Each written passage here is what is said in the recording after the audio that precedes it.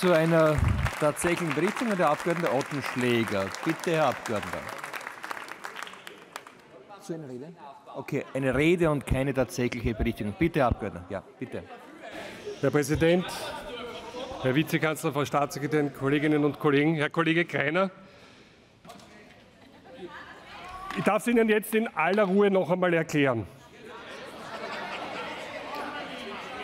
Es ist so, es gibt, es ist keine, es ist eine Rede, ja, Herr Kollege Nematznet, zuhören, zuhören. Folgendes ist Faktum. Und durch Ihre Behauptungen wird es wirklich nicht besser. Es ist Faktum, es gibt einen Hotelbetrieb, der übrigens Gott sei Dank diese Krise überlebt hat, unter anderem auch durch diese Förderungen, wo es darum ging, auch Arbeitsplätze zu erhalten.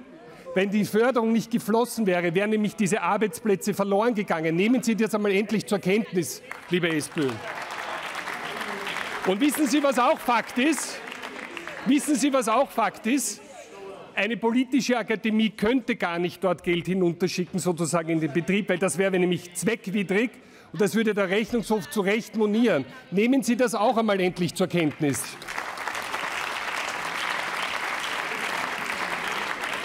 Und zum Abschluss, ich finde es schon wahnsinnig eigenartig.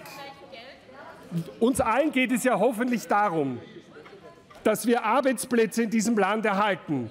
Das, was Sie hier ununterbrochen von sich geben, ist immer nur, ist immer nur es soll keine Förderung geben, in der Krise und es hätte zur Konsequenz, und das sollten die Zuseherinnen und Zuseher wissen, dass Tausende, zigtausende, vielleicht sogar Hunderte, Hunderttausende Arbeitsplätze in dem Land dann verloren gegangen wären.